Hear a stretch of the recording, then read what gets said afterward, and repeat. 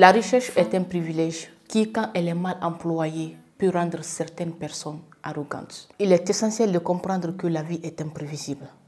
Celui qui est riche aujourd'hui peut tout perdre demain. Se moquer des pauvres est non seulement cruel, mais c'est aussi une attitude qui peut se retourner contre soi. Voici une histoire pour illustrer cette vérité. Allez, c'est parti.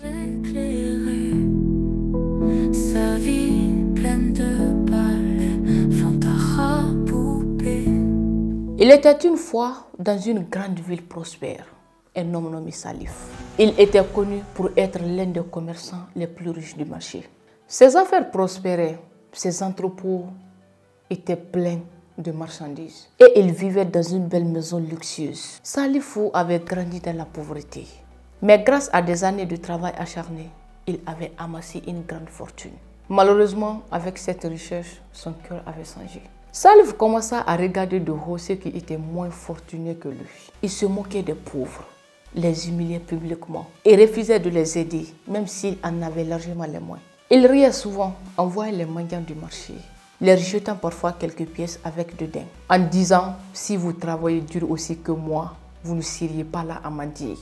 Parmi ces pauvres, il y avait une femme âgée du nom de Ngamemuna, qui venait au marché tous les jours pour essayer de vendre quelques fruits secs. Ngamemuna vivait dans la misère, mais elle gardait toujours sa dignité. Un jour, alors que Salifou la croisait, il se moqua d'elle en lui disant Pourquoi tu continues à te battre, vieille femme? Tu n'arriveras jamais à sortir de ta pauvreté. Ngamemuna, sans se laisser abattre, répondit calmement la richesse est un vent capricieux. Elle va et vient. Ce que tu possèdes aujourd'hui peut disparaître demain. Salif rit de cette remarque et continua sa vie sans se soucier des avertissements. Cependant, la roue du destin tourna.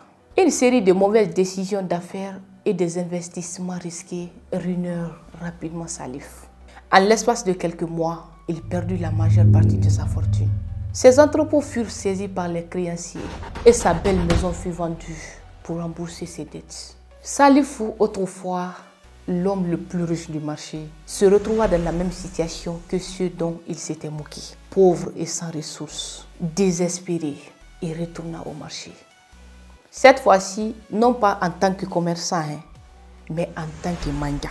Il se rendit compte alors de la souffrance des pauvres, qu'il avait autrefois ignoré et méprisé.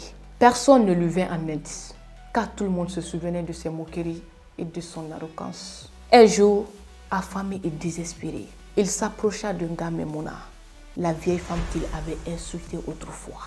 Il s'excusa pour son comportement passé et demanda humblement un peu de nourriture. Ngamemona, malgré tout, lui tendit une poignée de fruits secs. Mais avant de partir, elle lui dit doucement, je t'avais averti, Salif.